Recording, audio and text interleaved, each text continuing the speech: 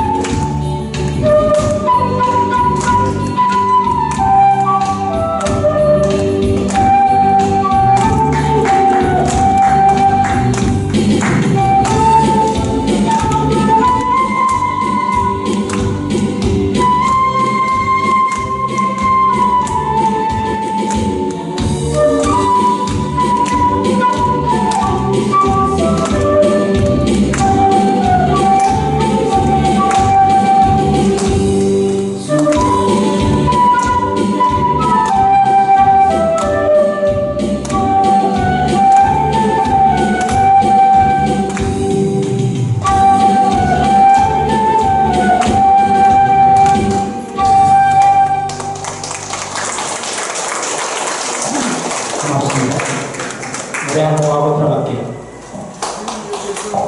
내가 요즘처럼 이렇게 노래가 유행인 줄 알았으면 50년 전부터 노래를 한 거예요. 요즘 이렇게 유튜브를 보면서 보다 보면 아 내가 그때 당시 열심히 했으면 김세환이나 그 누구지? 그분들하고 놀았겠다. 근데 서울 가서 동거지라다가 인천으로 내려왔어. 근데 이렇게 노래가 유행인 줄은 몰라. 근데 노래 잘 몰라도 그냥 불러주세요. 꼭 부를게요.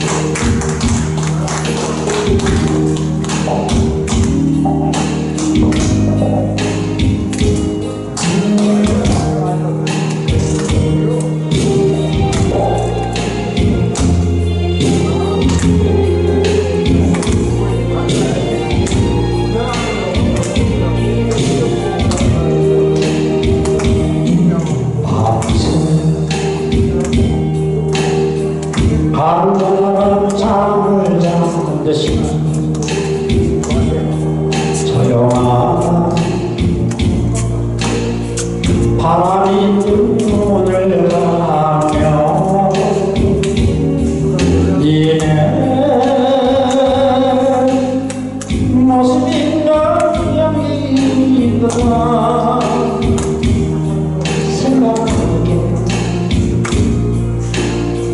눈시울